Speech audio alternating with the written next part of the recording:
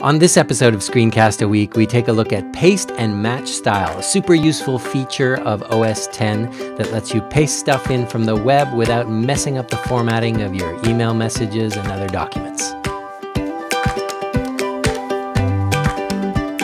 Hello, people of the internet. Welcome back to Screencast a Week.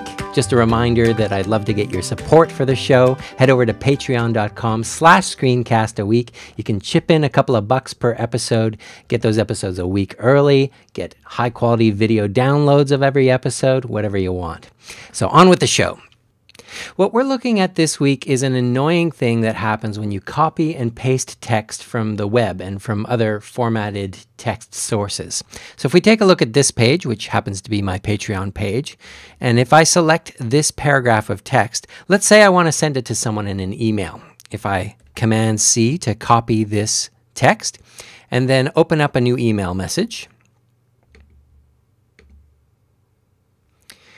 Then when I go into the body of the message and paste it in, you can see the exact formatting from the web is duplicated here. Now, you can tell that Mail is trying to do its very best to give you exactly what you copied off the web, but the reality is that in most cases, having this formatting pasted into your email message is only going to mess things up. If I try and keep typing, you can see that the text that follows is in bold, and the text that I pasted is in a larger size than my signature.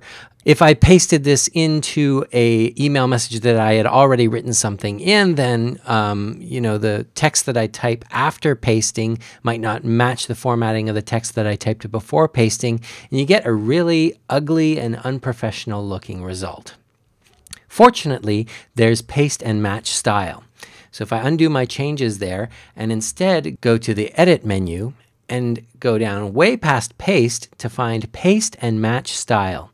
If I click this button instead, there you go. You can see the text of what I copied off the web has been pasted in, but none of the formatting has and you end up with nice consistent formatting. Sure, if I wanted the end of that sentence to be in bold just like on the web, I'd have to come back and reapply that formatting, but that's relatively easy to do and you get this nice consistent formatting and it really makes you look like you know what you're doing with your computers, right?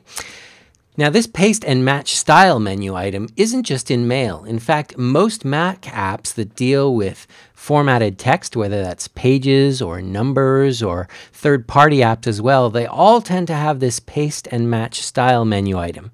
Sometimes it's right under the paste menu item, but it's almost always on the edit menu somewhere if you go looking for it. And the other thing is that it usually has the same keyboard shortcut. So if you're used to Command V for paste, well, Option Shift Command V is paste and match style. That might seem a little difficult to remember, but if you lay your fingers out on the keyboard to hit the Shift, Option, and Command keys, and then V with your other hand, um, you'll get used to that motion if you do this more than a couple of times. Uh, if not, well, the menu item's always there for you to remember, but I've kind of trained my fingers into paste and match style. Now, paste and match style isn't just in Mail. In fact, it's in just about every Mac app that deals with formatted text. Things like Pages and Numbers, and even third party apps like Evernote. Evernote used to really annoy me because its keyboard shortcut for paste and match style is Shift Command V, which is inconsistent from every other app that has this function, uh, which uses Option Shift Command V. But they must have gotten my emails because in a recent version, they made it so that the standard keyboard shortcut, Shift Option Command V, also does paste and match style in Evernote. So my fingers that are trained with that keyboard shortcut work just fine in Evernote as well. Paste and match style. It's one of those features that when you see it on the menu, you think it's this advanced thing that you're never going to use, but in fact, it's really useful and it really makes you look like you know what you're doing. Rather than sending around emails with messed up formatting, you can get perfect looking text every time. Thanks again for watching Screencast a Week this week. I really appreciate it. Head over to patreon.com slash screencast a week to support the show. And I'll be right back here next week with another Screencast a Week. I'm Kevin Yank. Bye.